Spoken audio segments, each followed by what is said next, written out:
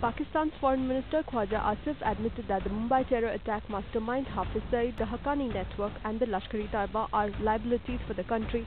The Pakistan Foreign Minister also observed that the country does not have enough resources to tackle the terror groups.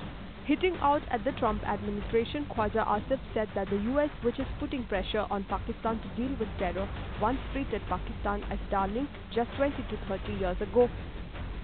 US President Donald Trump had last month criticized Pakistan for its support to terror groups, saying that Pakistan continues to harbor terror groups despite receiving billions in US aid.